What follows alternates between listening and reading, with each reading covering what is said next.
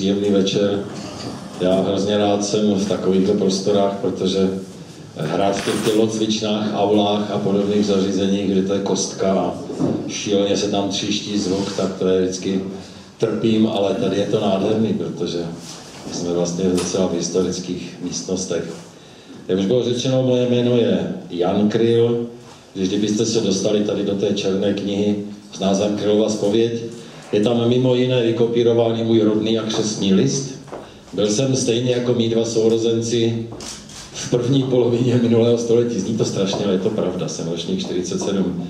Pokřtěn v kostele a při křtu jsem dostal dvě jména. Jan Karel. Můj bratr Karel o tři roky dřív také dostal dvě jména, pro změnu zase Karel Jan. Ještě máme sestru Marii, ale ta už určitě není ani Karel, ani Jan, ale je Marie Ludmila. Vy tak máte příležitost, kromě toho, že jsem sem přišel zahrát a zarecitovat, také zeptat se na to, co vás o životě mého bratra, respektive naší rodiny zajímá. Budu rád, pokud budete reagovat na to, co tady budu říkat, zpívat a recitovat. A samozřejmě budu bez sebe radosti, když uslyšíte některou z písniček, kterou znáte, tak abyste se nebáli se mnou zpívat či vydávat nějaké zvuky, samozřejmě nejlépe ústy. Než si třeba nachystáte dotazy, tak já to spustím eh, písničkou. Pokud čekáte, že budu hrát jenom toho bratra, tak asi těžko, i když ten Karel tady zazní, ale já si hlavně dělám svoje věci. Ta první písnička se jmenuje Bráška.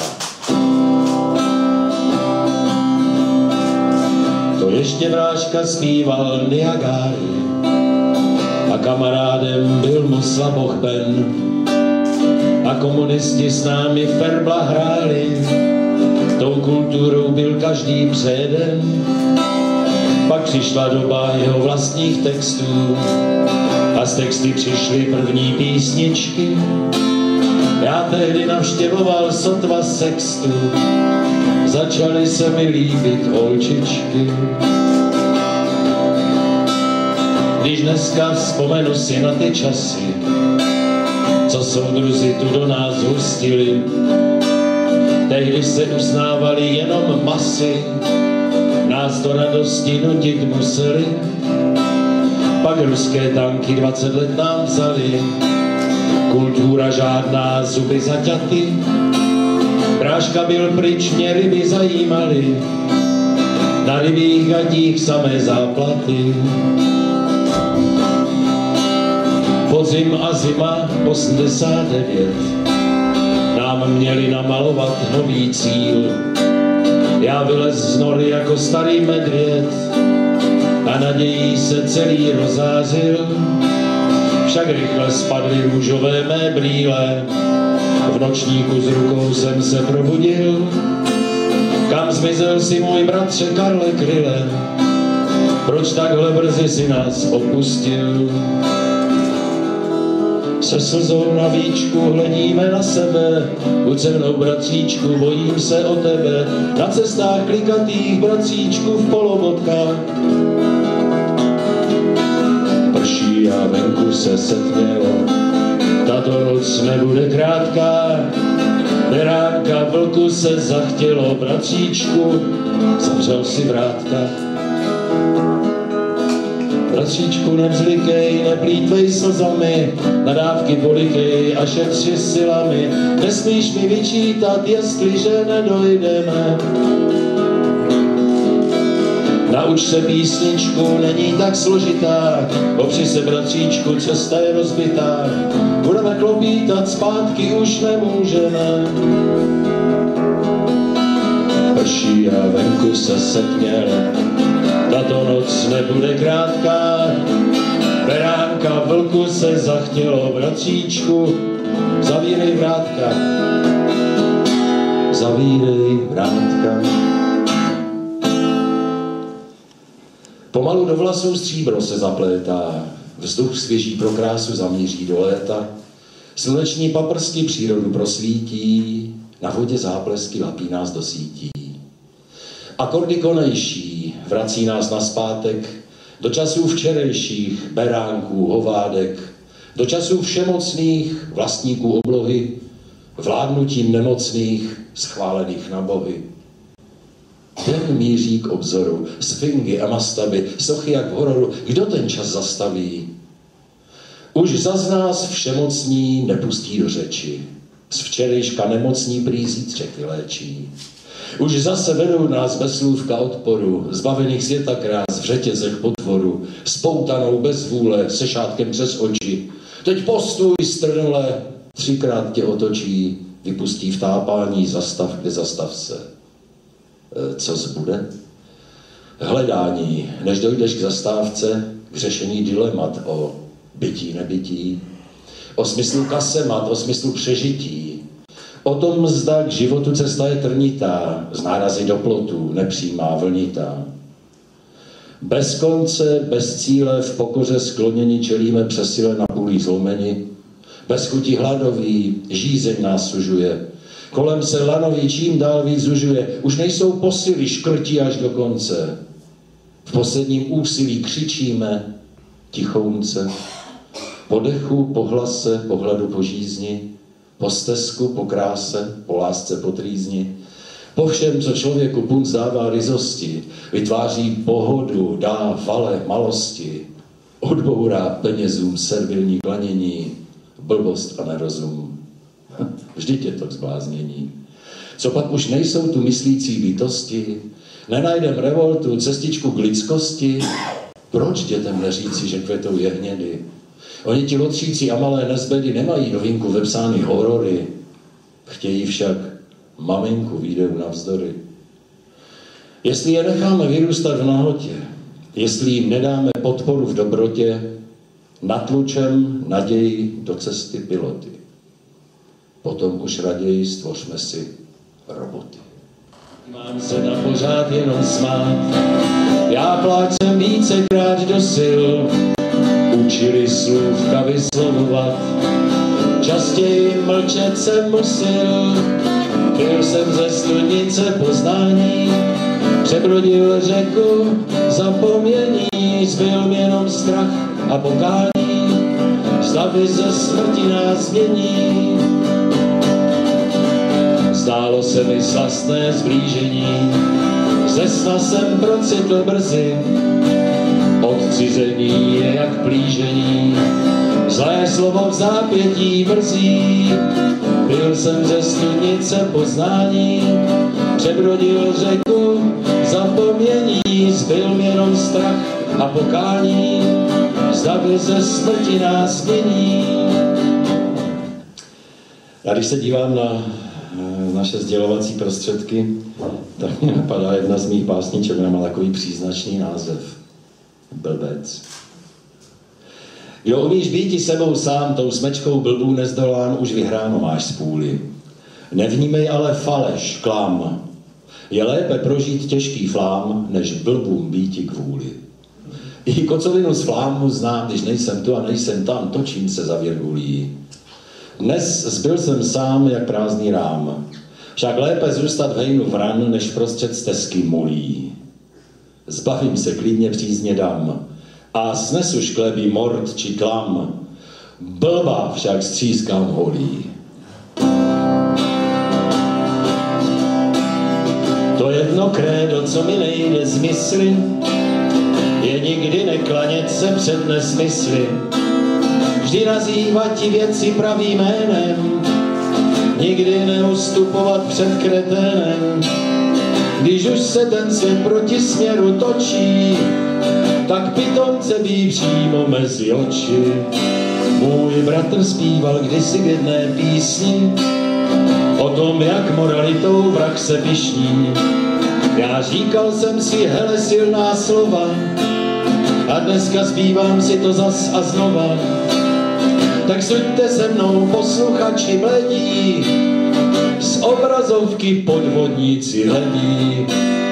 Těch příměrů snad stovka nalézt dá se, když obrazovka, co by tučné prase, tu svoji špínu na koláče dělí a český národ čumí zmagořelý. V médiích ale vládnou jiné trendy, lid z paneláků hltá haciendy. Dnes obrazovkou debilita vládne, do nekonečna umělkyně mládne. Každý chce hned milionářem býti a herci vaří, ať jsou lidi sytí. Každý, kdo prdnul, opravdu má knížku, já. Jak snadné je to oblbnout nám šišku. Nás přesvědčují potentáti pilní, že jenom ti mohou být neomilní. Co denodenně z obrazovky čumí, že opravdu jen tihle něco umí. A úžasné je na hlavu, když padneš, či podvodem a vraždou světu vládneš. Na obrazovce dnes je zvykem totiž, desetkrát ožiješ, v tom je ta potíž. A hrdina sám stovku skolí soku, chci říct si vám, než přidám další skoku, že to, co nejvíc potřebují děti, je sex a drogy, krev a hlavy stětí. Ministr Kocour poslouchá své myši, obklopen tučným žrádem sotva slyší, že do stolu by bylo třeba býti, hned augiášův chlív ten vyčistiti. Dokud tu nejsme všichni zcela hloupí, jsem zvědav, jestli můj song někdo koupí.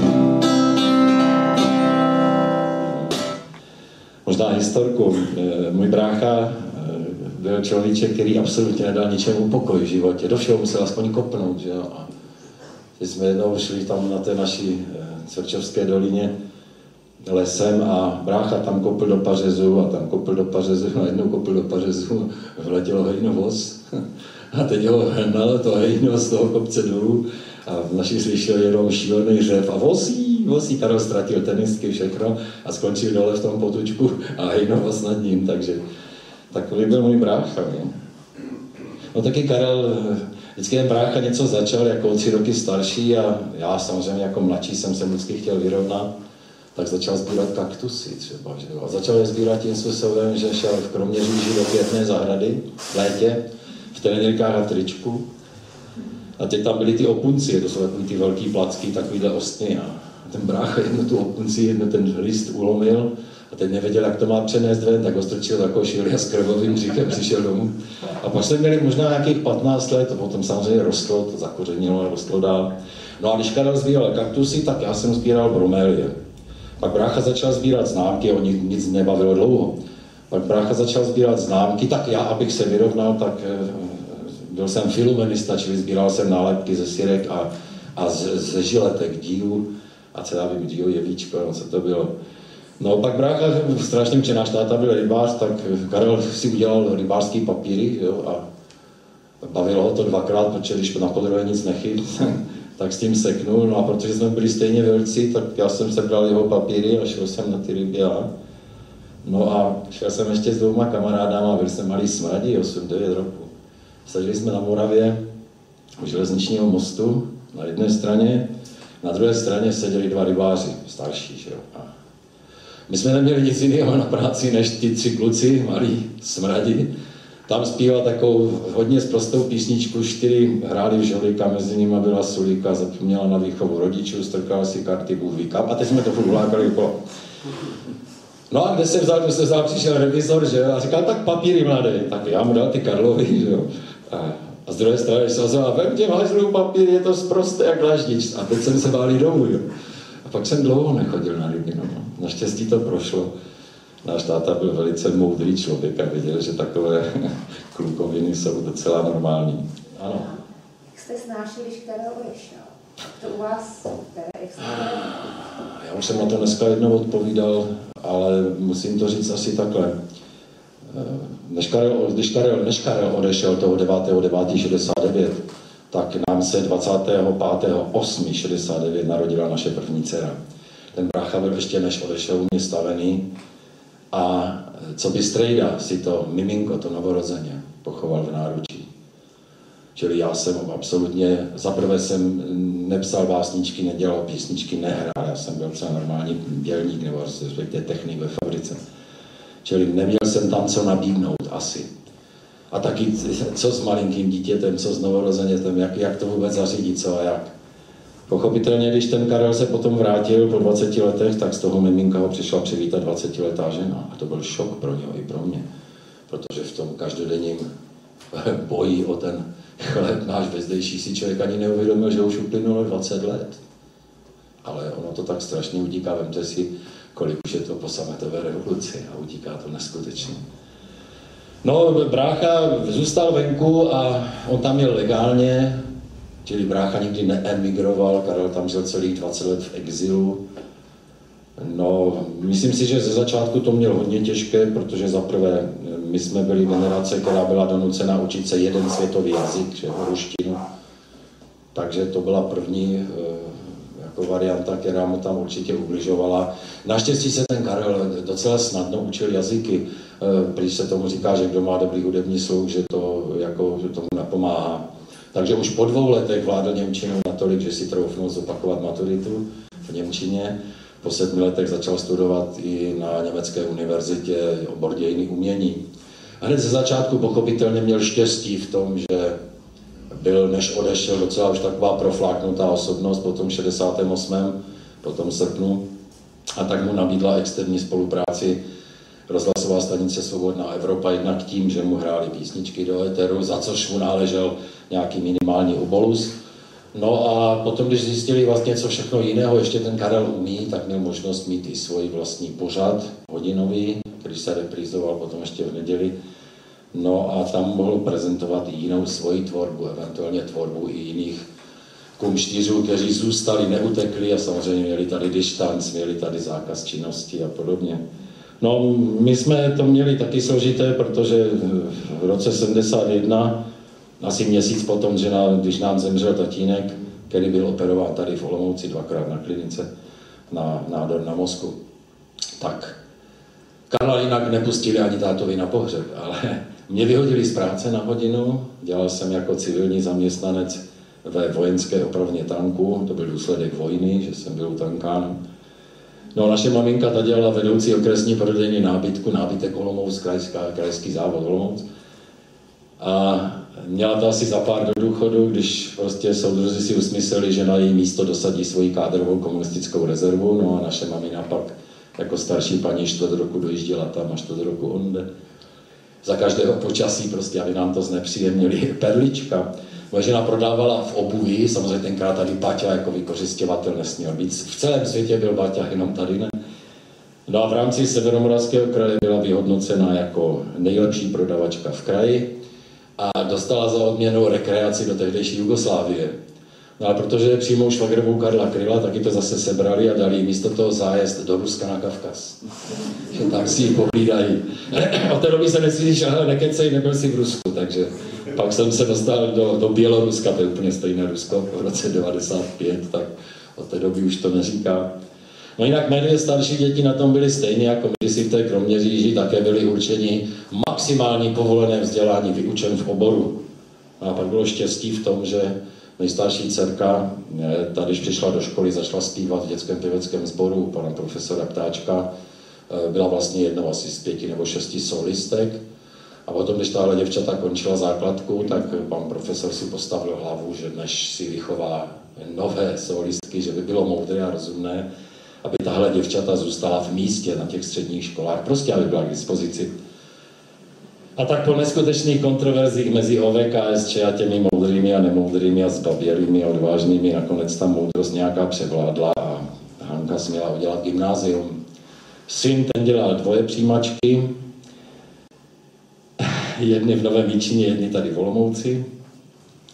S obou škol, on je udělal oboje, ale s obou škol přišlo, že pro nedostatek místa není přijat, pochopitelně bylo to z politických důvodů, tak já jsem se odvolal. Ten soudruh z toho Nového Víčína tento obratem poslal znovu, že neexistuje. No a ten tady soudruh tady z Olomouce, ten si pravděpodobně vůbec nepřipustil, že by si nějaký kryl vůbec mohl dovolit protestovat. A tak mi neodpověděl, tak jsem se potom do něj pustil a do dneska si vybavuju, jak se kroutil na té druhé straně toho drátu. A zrovna na té naší škole ten váš syn se studoval. Nechtěl by studovat někam jinam, no tak dá. Nakonec kluka nechali tady udělat průmyslovku. Bílou zdí má bláto barvu perleťovou. A zvony odletěly za větrem do Říma. Obzor srdí můj táto hambou šarlatovou. Už jsme tu osaměli, z kříže se nesnímá. Prapory mdle už pálí ruce vlajkonošů. Jen oči po přilbicích snad ještě doufají. A mlhy zlé se valí do děr od hrabošů. I do ran na orlici, kterou už poutají. Rudý kout na obzoru rozstavuje spáry, řeben větru rozčesává pera plamena. Věřili jsme na pokoru u popravčí káry, zlatá doba nenastává, bude kamena. Je prý to ctí, až na dno zůstat pod prapory. Mít duši nestydatou a mozek bez ceny. Být králem lstí a snadno vzít si bez pokory. Na svatbu se zubatou železné prsteny. Není to med, zaspíti číši vrchovatou a věřit na proroky v chorálu polnice. Sto černých let nám svítí hvězdou jedovatou. Na erbu pro otroky, pro naše dědice.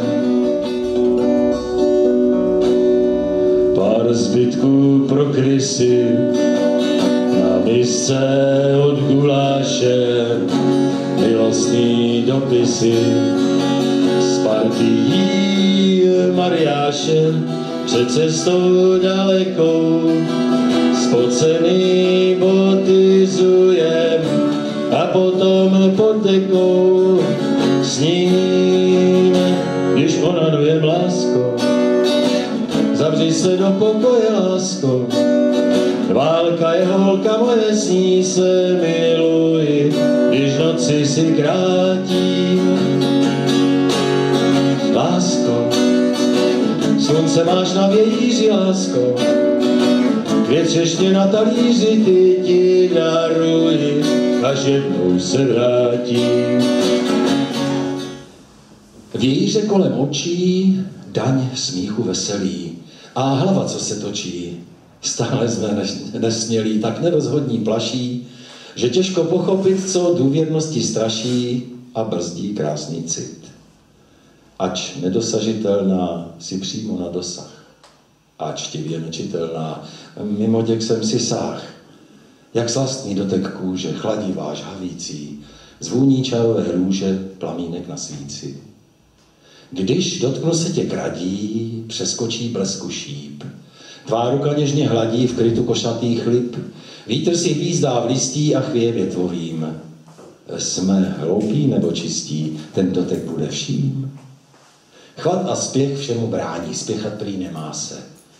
A svědci nepozvaní se šklebí v grimase, to závistý celou má. Je těžké pochopit, že zrovna tenhle ňouma tě zkusil probudit. Když trn je vyjmut z rány, ten tam už je zlý sen, polipky rozebrány, princ štěstím roztřesen. Růženka plná smíchu si náhle skryje tvář. Hlt lásky se v tom tichu změnil v hrnečku vaš.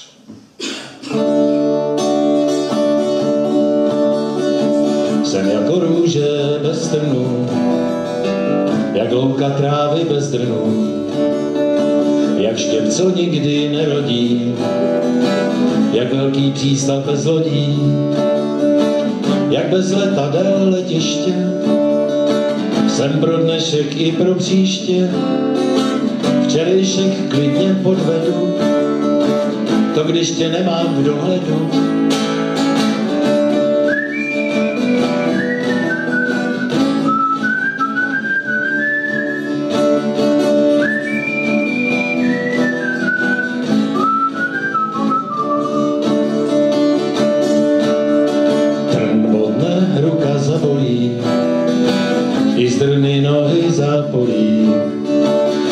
na štěpu uvadly, na molu chybí zábradlí. Letadla vzlétla, prázdná trať, já stále volám, vrať se, vrať. Ze zítřka včerejšek se stal, rád věděl bych, co bude dál.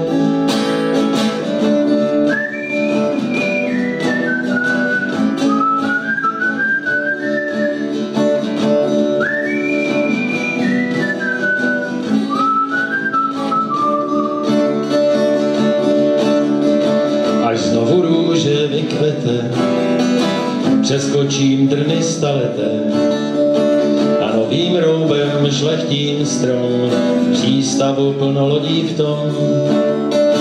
Letadla vzlétla, přistála, mě naděje tak zůstala, že do mých prázdných do dlaní vložíš se v čase svítání.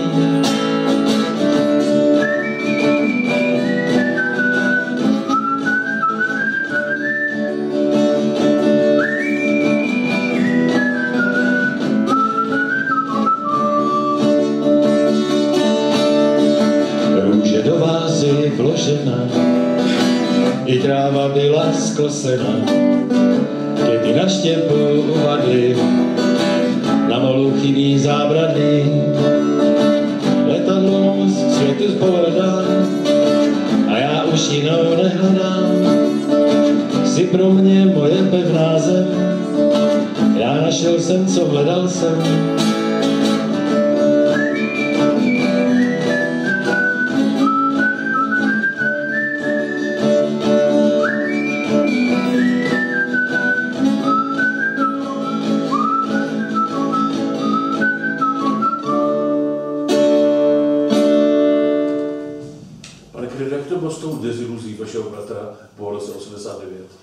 No, Karel byl strašně zklamaný, protože víte, když nám hned přijel po té revoluci, když se u nás stavil, brácha vlastně přijel mamince na pohřeb, protože my všichni jsme se chtěli radovat a nám 23. listopadu 89 zemřela máma.